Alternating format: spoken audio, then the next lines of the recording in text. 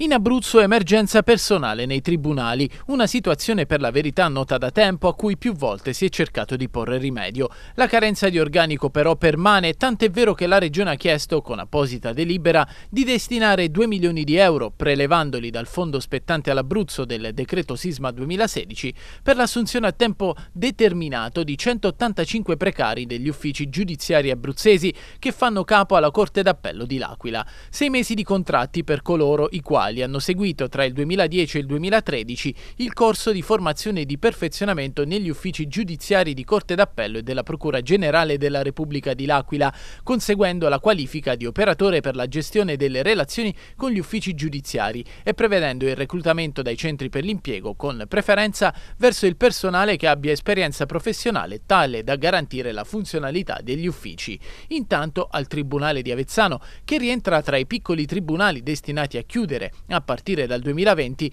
da lunedì saranno operativi per tre mesi due magistrati dell'Aquila, destinati a lenire la cronica mancanza di personale. È stata accolta la mia istanza eh, di mh, invio di rinforzi temporanei per poter sopperire alle gravi deficienze di organico e, e, e per mh, tre mesi avremo due magistrati del Tribunale di L'Aquila che ci daranno una mano eh, tenendo ciascuno due udienze al mese rispettivamente nel settore del lavoro e nel settore del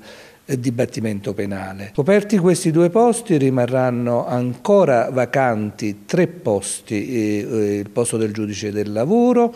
e due posti di giudice di tribunale. Una buona notizia che però si scontra con la mancata pubblicazione da parte del CSM del bando per sostituire il presidente del Foro Marsicano Eugenio Forgillo, destinato a lasciare Avezzano entro l'estate. La mia partenza è prevista per l'estate in quanto il Ministero della Giustizia, accogliendo una mia istanza di postergazione dell'andata via perché mi sono reso conto della drammatica situazione e quindi ho chiesto io stesso di rimanere ancora qualche mese facendo un sacrificio personale non indifferente. Mi risulta che il CSM abbia ancora pubblicato il mio posto vacante, quindi non si è ancora mossa la macchina per ehm, reperire tutte le eh, disponibilità di chi voglia venire a occupare questo posto.